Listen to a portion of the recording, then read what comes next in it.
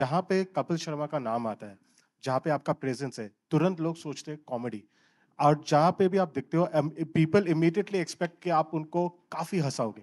अभी ये फ़िल्म वैसी नहीं है। आपको कहीं ना कहीं जब आपने स्क्रिप्ट पढ़ी, आपको, आपने खुद ही बोला कि आपको कन्विंसिंग की ज़रूरत नहीं पड़ी। लेकिन फैंस के बारे में सोच के कि आपको कहीं लगा कि वो लोग कॉमेडी एक्सपेक्ट करेंगे, ये फ़िल्म में कॉमेडी इतना नहीं है, शायद आपके कोर फैंस डिसअपॉइंट हो जाएँगे। Uh, सर मुझे ऐसा नहीं लगता है कि देखिए सबसे पहले तो हम एक इंसान है। मेरी ड्यूटी भगवान ने लगाई है लोगों को हंसाने की। आप जर्नलिस्ट हैं। पर बीइंग एक एक इंसान होने के नाते हम सब में सब तरीके के इमोशंस है। You know sometimes we are happy sometimes we are upset और ये फ़िल्म करने के पीछे मुझे भी लगा क्योंकि मैं टीवी पे लोगों को दो घंटे हंसाता हूँ। है ना? पर ज़रूरी नहीं है कि मैं 24 घंटे उस मूड में होता हूँ। सो जो आ, हमें प्यार करने वाले लोग हैं वो दिल से कनेक्ट करते हैं। इसीलिए शायद आज 10 साल से हम लोग टीवी पे रेगुलर वो अपना शो चला पा रहे हैं।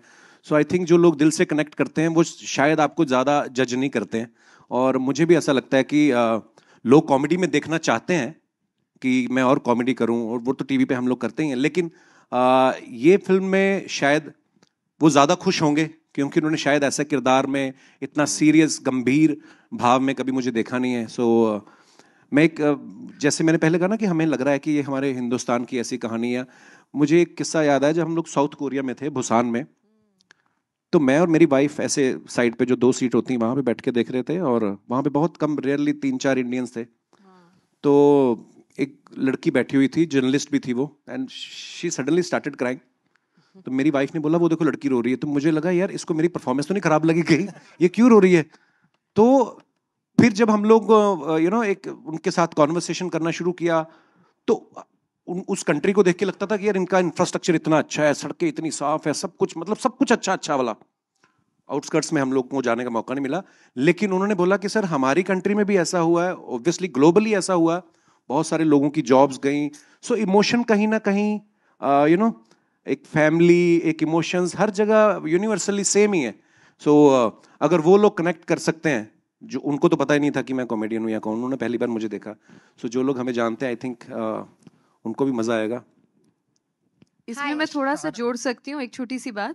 जैसे टोरंटो में भी फेस्टिवल मैं कई बार जा चुकी हूँ अपनी पुरानी दूसरी फ़िल्मों के साथ बट इस बार जब मैं गई तो कपिल के बहुत सारे फैंस आए, जो कभी शायद फेस्टिवल में नहीं आए तो मैं भी सोच रही थी, पहली हमारी स्क्रीनिंग थी, मुझे लगा कि अच्छा इनका क्या रिएक्शन होगा? इन्होंने तो इस तरह की फ़िल्में ही शायद नहीं देखी हैं, वो क्या डिसअपॉइंट जो आपने बताया कि डिसअपॉइंट हो गए, और उनके जब जब उन्होंने सवाल करने शुरू किए, या उनसे जब बात हुई आखिर में, वो बहुत ही इनफैक्ट खुश थे। उन्होंने कहा कि उस रूप में तो हमने उनको देखा है एक नए रूप में देखने की जो हमारी एक क्यूरियोसिटी थी तो डिसअपॉइंटमेंट का एक्चुअली उल्टा हुआ कि उन्होंने एक अलग रेंज में देखा। तो हम लोग कई बार ये सोचते हैं कि हमें ऐसा है तो हम वही देखते जाएँ।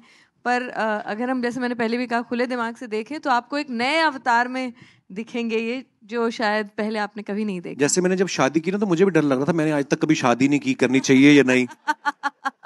अच्छा होता है कभी कभी कुछ नया करना Shahna I have a question for you too you are a fantastic actress So, but uh, the one gripe uh, the media has, the audience has, is that we don't see enough of you. Do you always wait for such uh, subjects that touch people's heart, jo are such soulful, like I said, and that is why we don't see so much of you on screen?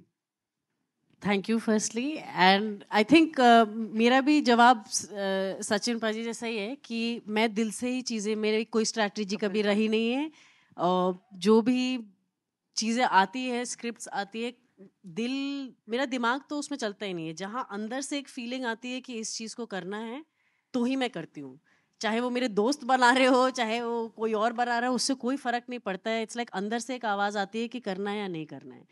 तो आ, वो शायद बचपन से ही था। बिल्कुल शुरुआत से मेरे लिए वही मेरा गाइडिंग फोर्स रहा है। एंड शायद that has led me to make